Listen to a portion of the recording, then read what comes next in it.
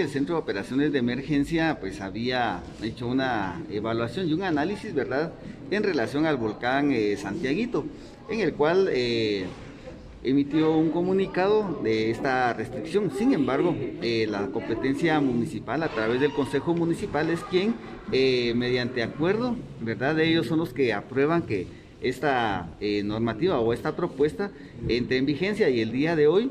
se ha presentado dicha propuesta acá al Honorable Consejo Municipal,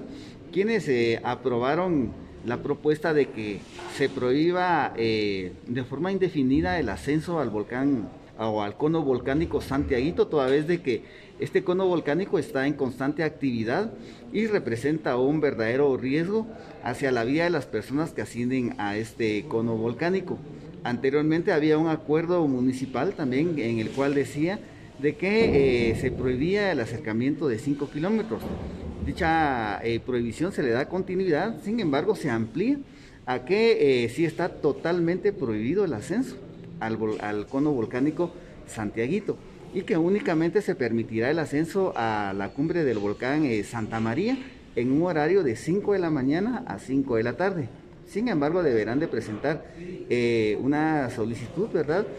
Dirigida ya sea a la oficina eh, de turismo o a gestión de riesgo en el cual van a indicar la cantidad de personas que van a ascender